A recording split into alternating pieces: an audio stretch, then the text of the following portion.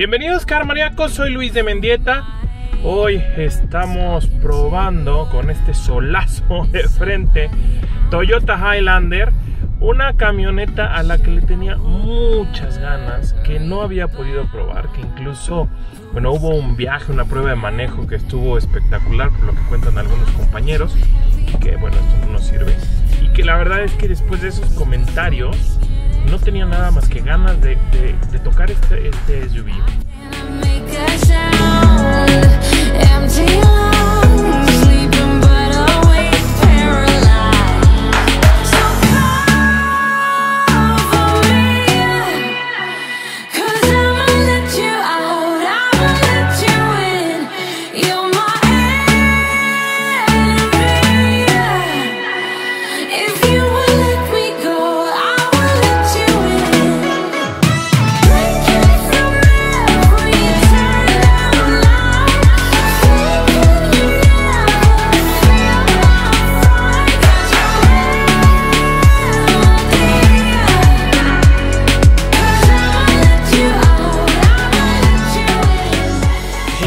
Llega a mis manos Highlander en su versión Limited y créanme que es una camioneta que vale mucho la pena. Me encanta el rediseño frontal, me gusta mucho cómo quedó la parrilla, los detalles donde vienen las luces de niebla que también son en LED, el que se vea mucho más agresiva pero actual, que no se vea aburrida. Me gusta este detalle en el cofre que le da una apariencia mucho más deportiva. Las luces diurnas en la parte baja junto con esa como velita que prende en la parte superior, creo que se ve de maravilla.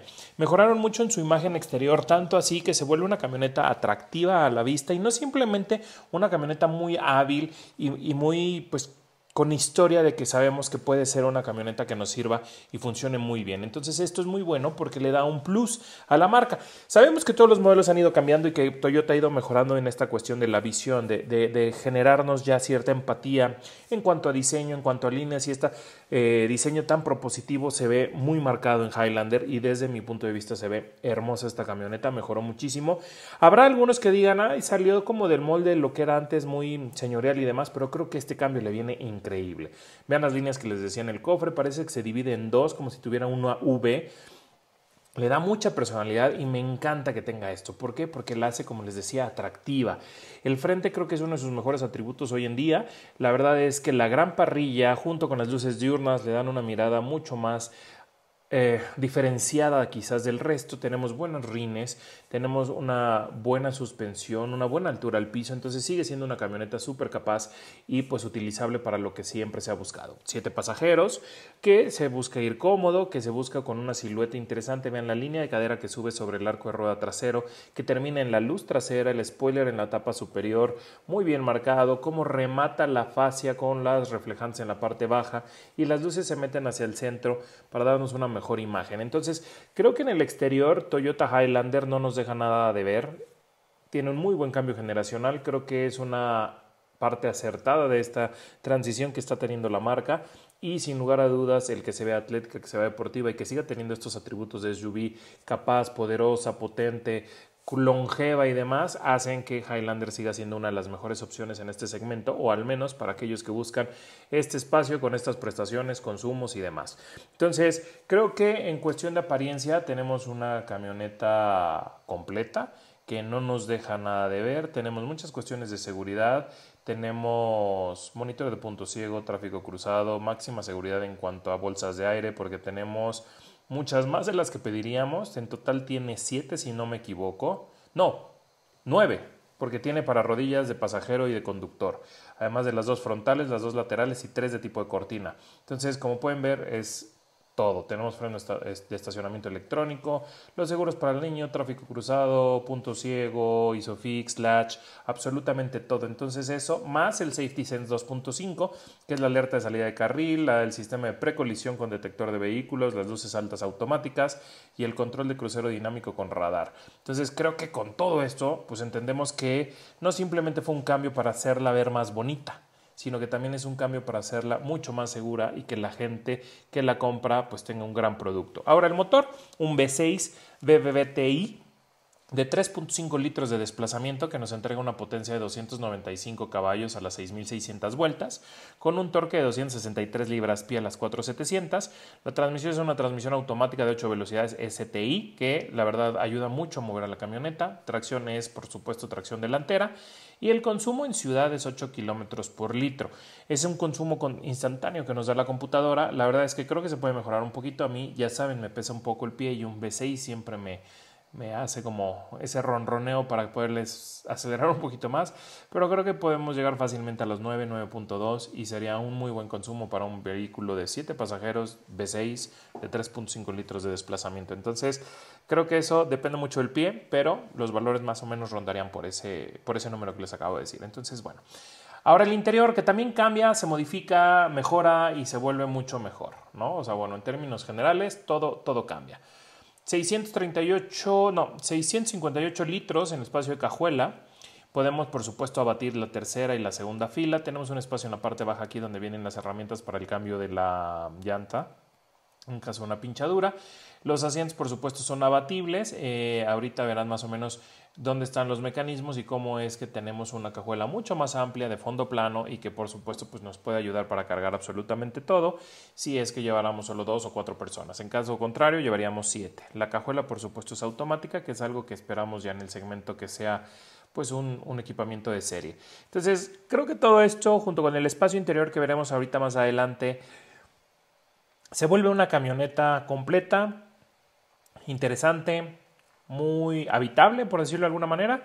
Vean el espacio que tenemos para las rodillas. Tenemos el espacio, eh, podemos usar el espacio como pasillo para pasar hacia la parte trasera o podemos abatir el asiento para accesar a la parte trasera. Tenemos cortinillas de privacidad en la segunda fila, aire acondicionado, conexiones de USB. Tenemos, bueno, el aire acondicionado tiene una cuestión que se llama automático S-Flow, que es inteligente de tres zonas. Tenemos, por supuesto, los asientos para tercera fila tipo banca dividida 60-40 la segunda tipo capitán con la charola central abatible y un ajuste manual. Aquí vemos que el espacio para rodillas en la tercera fila es suficiente para un tramo pequeño. Si necesitamos un poquito más, creo que sí eh, iremos un poquito justos, pero bueno, pues nada que no se pueda lograr si movemos también un poco la segunda fila hacia adelante. Entonces esto, esto es importante porque lo podemos lograr. Tenemos por supuesto conectores de 12 volts, de 120 volts, eh, USBs tenemos 4, entonces creo que eso es suficiente. Tenemos un espejo retrovisor electro, electrocromático, nuestra pantalla multiinformación o clúster digital es de 7 pulgadas, tenemos un sistema de audio JBL de 8 pulgadas con Apple CarPlay y Android Auto eh, bueno, por supuesto las vestiduras como pueden ver son en piel. Tenemos algunos detalles como madera ahí que van unos insertos bastante buenos. 8 pulgadas la pantalla central de nuestro entretenimiento. Por supuesto el aire acondicionado está en la parte baja. Aquí vemos la de 7 pulgadas al centro como nuestro clúster digital. Y la verdad es que creo que es una muy buena camioneta. Creo que da buenos valores por el precio que tiene. Tenemos, por supuesto, modos de manejo también. Entonces, creo que esta camioneta cumple los siete pasajeros, ir cómodos, con seguridad y mucho espacio. Entonces, 814 mil para llevar a toda la familia, creo que es un buen precio. Rediseño exterior. Eh, ellos probaron la versión anterior, el que fue como un facelift. Y ahora con el rediseño exterior, la verdad es que luce maravilla. Me encanta cómo se ve. Y creo que es sin lugar a dudas una de las mejores opciones de SUV en este tamaño que ustedes pueden buscar y escoger si es que tienen la necesidad de llevar a más gente o si tienen la necesidad del espacio extra de cajuela. Ahora, voy a platicarles. Vengo regresando ahorita de Toluca, en específico de Pegaso, de una, de una prueba, y me la llevé justo para ver este tema de carretera, porque los SUVs no son los mejores coches para carretera. O sea, sí son para mejor transporte, pero a veces en carretera pues uno tiene ciertas limitantes con un SUV. Déjenme decirles que Highlander se maneja súper bien. Me gustó su manejo, me gusta. Tiene un aplomo para ir muy, muy extraño. Es, es raro, pero se siente tan seguro este SUV que, que, te lo transmite y, y te sientes muy bien a bordo de él. Entonces, eso me gustó mucho me gusta el interior, el rediseño les quedó bárbaro. Me, encanta que Toyota haya hecho esto. Me encanta el clúster digital, me encanta la pantalla. Que en la pantalla en área de oportunidad yo diría puede ser una mucho más grande y le vendría muy bien. Entonces, ese, ese podría ser el, el área de oportunidad que yo le vería, que su, que su pantalla pudo haber sido más grande, que quizás pudo haber tenido una mejor resolución. No me estoy quejando de la que tiene actualmente, pero solo eso, lo demás. Los lugares para colocar cosas. Tenemos tres entradas de USB. Yo venía cargando unas GoPro ahí. Este, bueno, justo para hacer ahorita el, el video, venía cargando esta, esta Osmo, perdón. Este el espacio de, de, la guantera, el que tenemos el cargador inalámbrico ahí metido, entonces así pues conectamos el teléfono y no sé, o sea, creo que muchas cosas están bien resueltas. Me gusta la manera del diseño, las líneas, el, aluminio, cómo se ve, entonces bien, bien, muy bien por Toyota. Me gustó este rediseño. Era difícil mejorar algo que era muy bueno, porque la verdad es que Highlander siempre ha sido uno de sus estandartes. Creo que es ese SUV que, que siempre les había quedado bien. Y hoy este rediseño, este cambio generacional, me gusta, me gusta. Lo hicieron muy bien. Ahora les decía, manejo en aplomo bastante bueno en carretera. La verdad es que sin queja alguna, se mueve bien, se siente perfecta, frena muy, muy bien. Por ejemplo, ahorita en consumos llevo un promedio de 8 kilómetros por litro. Recuerden, estuve en carretera, pero después en ciudad. Entonces ya no fue un mixto o un combinado, sino más bien creo que está ya dando el de ciudad, porque además da un, un, un dato, ¿cómo se dice? Instantáneo. Entonces, bueno, este, este detalle se los puse en la ficha técnica. Pero bueno, al final del día creo que se maneja muy bien, se siente bien. La verdad es que creo que no deja nada de ver.